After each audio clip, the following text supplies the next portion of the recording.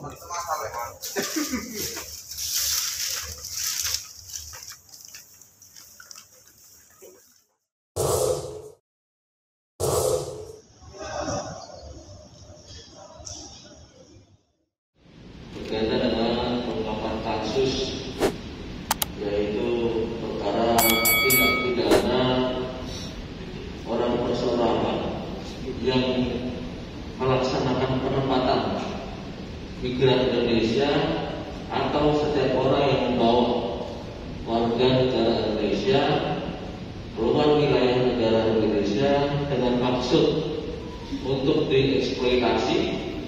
Ungkapan kasus ini berawal dari adanya informasi dari banyak masyarakat di wilayah Pasar Kemis bahwa ada salah satu rumah yang digunakan untuk menampung pekerja migran Indonesia.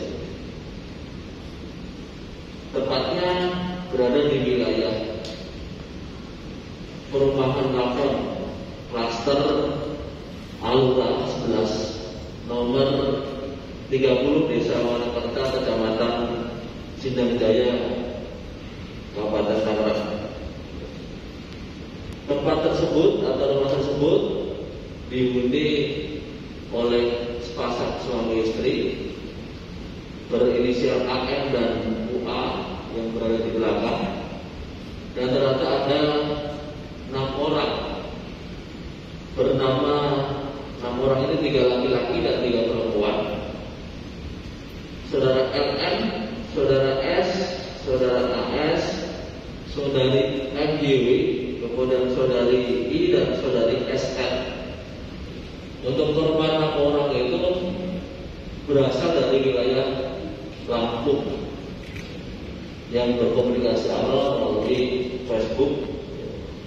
Untuk dana ditransfer melalui rekening pelaku AM ini di Bank BRI terhadap tersangka kita jerat dengan pasal 81 junto 69 Undang-Undang Republik Indonesia nomor 18 tahun 2017 tentang perlindungan pekerja migran Indonesia di mana ancaman hukuman pidana penjara 10 tahun atau denda 15 miliar rupiah.